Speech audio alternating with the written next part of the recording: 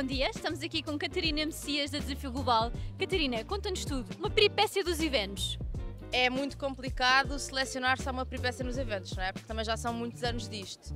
Mas efetivamente aquela que me aconteceu mais recentemente foi um evento ao ar livre e o sistema de rega não foi desligado e portanto eu tive um evento todo regado, tivemos que arranjar tudo à última da hora, desde audiovisuais a, novo, a novos tipos de mobiliário, por isso não é uma boa peripécia, mas acho que é aquela que está mais presente na minha memória. Resolveram, não resolveram? Resolvemos, sim, acabámos por resolver.